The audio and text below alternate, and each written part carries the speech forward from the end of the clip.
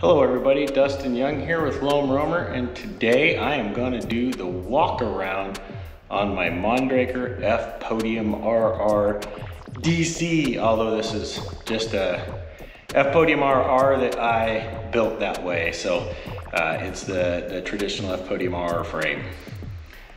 The bike is about 24 and a half pounds, 23 and a half pounds with no pedals, none of the garbage. That's your, you know, racy weight kind of uh, the way a, a, bike shop would tell you it weighs because it's the marketing spin. But um, I'm 24 and a half to 26 pounds, depending on what's strapped to it at the time.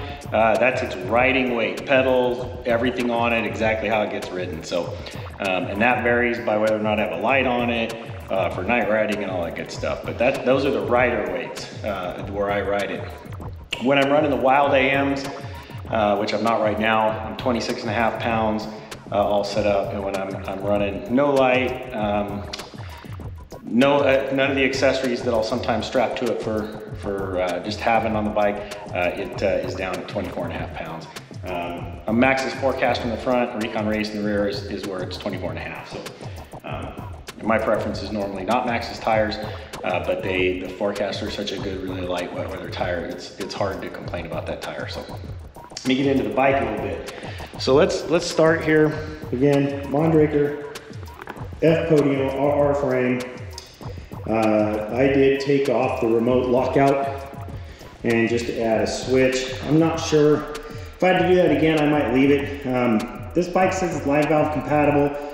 Uh, when I did live valve on another bike, I did rear only. I would prefer that on this as well. Uh, it works so good um, for a bike like this. It would be great. Um, mostly this bike I run either open or locked. So the two position lockout was actually something I took off before I rode it and might do that differently. Uh, Fox Factory suspension. Um, I am running full AXS, uh, you know, the RockShox AXS and SRAM AXS for derailleur. Running the Mimics, testing my wife's Mimic saddle. Um, I threw that on there. Uh, it's pretty, it's pretty dang good. I was told it was gonna be good. Uh, it, it is really good. Like, I can't believe how good that saddle rides, how comfortable it is. Um, the Specialized did a killer job, just really nailed it with that saddle. I'm running Rev grips. Um, I'm running the narrow Rev grips because it's cross country bike. Um, they help, they're nice. Um, you know, I like the look, that's part of it. Um, and they do work. Um, it does give you some added suspension. And I've got these set up loose. So it does give you some, take away some of the hand fatigue. I'm running the OneUp bars, um, 20 mil rise on this bike. Uh, they are cut to 750. Uh, I can do a handle, I'm gonna do a how to do your handles. I'm gonna do a bike setup video. I think bike setup is an interesting thing and people, instead of building the bike, they, they go out, they've done something for so long, so they try something else and they're like, oh, I don't like it but they they don't ride it long enough to understand how correct it is and how awesome it feels. So we'll get back to this walk around, but I think I'm think I'm going to get into that. Uh, I am running an MV stem, uh, and uh, I threaded this, and this is the threaded version of the OneUp EDC system. And from 76 out of I believe France, uh, I threw this on there. So if I want to run the Garmin, normally I just Normally I just run my watch, my Fenix 6X, but sometimes I want to run the computer because I want to be able to see more data when I'm cranking. SRAM G2 Ultimate brakes. Um, you gotta love the look that AXS creates. It gets rid of all that crazy cabling going on. Um, I think it's great. I think that the Magura system where all the brake lines go and everything would be pretty rad too. It'd make a bike look good. Uh, I am running a Fox 34 step cast. I think had the new Sid Ultimate carbon fork come out, I'd probably be running that. Um, I, but in, in, this was out when I built the bike, so I am running the Stepcast. It, I'm not a big fan of Fit 4. I wish I could throw the Grip 2 damper in again. While I want to race this bike, I also want to ride this bike hard. Um, I didn't race this year, and boy, it shows. But uh, this bike was built originally because I was going to do some endurance racing on it. I was actually going to race Downieville on it. It was with the Wild AMs. I literally the bike was built to race Downieville, and everything else it raced was was whatever. But um, I, am running DT Swiss 180 hubs and uh, We Are One. I'm running a Union on the front and a Faction on the back. I love We Are One wheels. I got four sets now. I love their wheels. Um, I haven't had to true them. I beat the tar out of them. They're great wheels, and, and again, their customer service is awesome, um, which is something I'm, I'm big on. Um, I'm running the XTR center lock rotors. Um, good rotors. Um, everything works there. Light works great. I mean, what do you say about those? Um, but uh, the DT Swiss 180 hubs, that's an interesting conversation. The front hub is spectacular. The rear hub has already had to go back. Uh, within 90 days, it had to go back and have the bearings redone. Ceramic bearings, sort of a risk I took, I guess. I knew that going in, but I did have to do uh, ceramic bearing replacement. You can kind of see. I have the AXS paddle upgrade for the shifters coming. I just haven't gotten them yet. And I did uh, put a fender on it. Um, I had an extra one for 36, so I just trimmed it up. Uh, I didn't bother to buy the 34 one that you know would have fit perfect. Um, I'm running a Hellbender bottom bracket, uh, fantastic bottom bracket.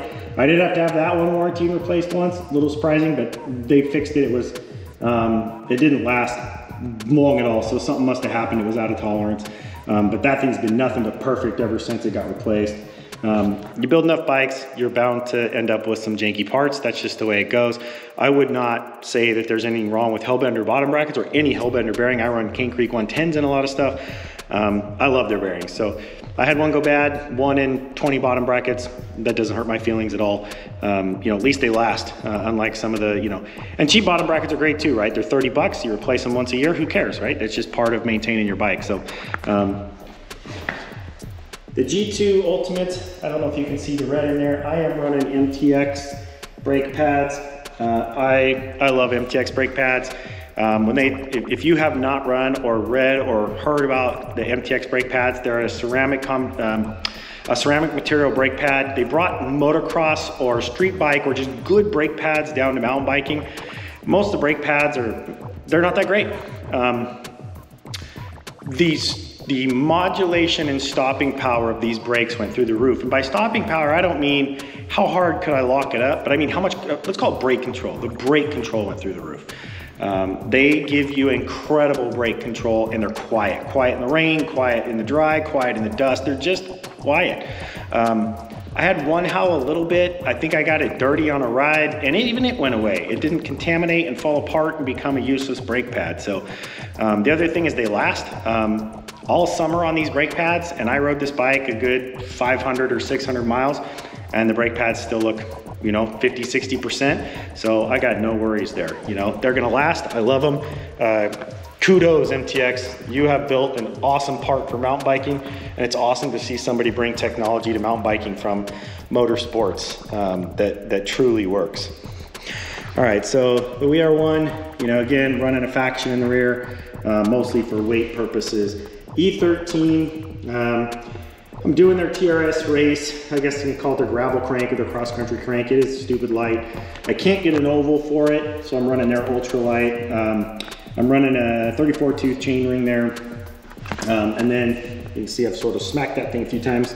The nice thing about an AXS derailleur is you can actually smack it hard and not knock it out of alignment and not mess up every the derailleur hanger or anything. So pretty rad. Um, you know, and then I'm running the X01 because it's the lightest cassette. Again, this bike was a lot about weight, so you know I might have been able to run Eagle, the Gold, but you know it weighs a little bit more, and so I made that choice because this bike again is a lot about weight because of what it was designed to do. Um, this bike is just smashes downhill um, for what it is. Um, you know, it's it's got a pretty slack head angle for a cross country bike. I think I'm with the 120 mil fork I've got on it, uh, and the way this thing is, I'm at 66.2 or 66.5 right in there. Either way, for a cross country bike, it's uh, got a nice slack front end. Again, uh, 750 mil bars, 170 mil cranks. I normally run 165 mil cranks. I'm, I'm 5'8", have a 30 inch inseam. Uh, so those cranks actually 165, even 160 would measure out better uh, for bike fitting purposes, but um, 170 is what's on this because it's what's available. It's kind of how you, what you live with with mountain biking. So um, again, the, I've got AXS reverb. Um, I've thrown in a few tie bolts, but most of the, most of the stuff already had tie in it. The Mondraker frame weighs nothing, partly because of that. And then all the SRAM stuff came with tie because it was all their all their high end stuff. So um, that's the build of the bike. Um, it's a pretty rad bike. The thing is, really fast. Uh, the handling of the bike is spectacular. Um, you can you can launch this bike and feel really comfortable. I'm not saying you're coming off a 10 foot drops. You'd be uh, you'd be crying yourself a river there, but um, this bike can definitely take and uh, take and haul some serious butt. Um, it, it is this bike is is not slow whatsoever. Mondraker did a killer job of building just an amazing race bike here. Um, I built this thing up from the frame. It, it, was a really fun build. It's too bad it didn't get raced this year, but it definitely got ridden. And uh, I'm really actually looking forward to getting to race in 21. Hopefully, hopefully uh, vaccine kicks some ass and we get back out to having some fun and, and living our lives. So uh, happy new year to everybody. Looking forward to 2021. Hope you're all having an awesome day. Like my channel if you like the video, comment, subscribe ring the bell. That way you know if I put out anything new. And I look forward to uh, reviewing products that uh, I paid for. Nobody gave me for free. I got no discounts. Uh, so when I tell you what it is, it's something I actually wanted to buy and something I wanted to build. And I'm not trying to get you to buy something that they're giving me money to uh, sell to you. Um, that's gonna be a big part of my thing. And if I ever do get a discount on something that's pretty big, or I do get something, I'll absolutely let you know. But any review you've ever seen from me so far, that's the gig for me. Uh, um, I will tell you, I told you I'm running a Rekon Race and a Forekaster. Uh, just to hit on that real quick again, I am not a big fan of Maxxis tires. Um, I mean, they're they're sort of the known. It's not that they're bad tires, but they're not always awesome tires. I think there's way better tires, especially for way better pricing out there than Maxxis. And I think it's if you would try some of them, like the Michelin Wild Enduros and Wild AMs are spectacular tires. Of course, the Magic Mary is super popular by Schwalbe, and uh, that's an amazing wet weather tire. But you know, when you look at um, some of the other tires that are out there to run, I'm going to do review. I, I got a year out of my Wild Enduros and tore them apart in Tahoe. So I'll tell you, and the traction was spectacular. So um, just you know, there's there's some really amazing tires out there um, that you might really like given the opportunity. Um, and you're, you know, you can get a pair of them sometimes, what you'll pay for one uh, Maxxis tire. And it, the price of Maxxis tires isn't because they're better, it's because they can. So, um, you know, that's one of my one of my things out there. So, anyway, uh, it's just my opinion, but uh, it is my opinion. So, anyway, looking forward to um, again a great 2021. Thanks for watching my video, and I look forward to seeing everybody again on here soon.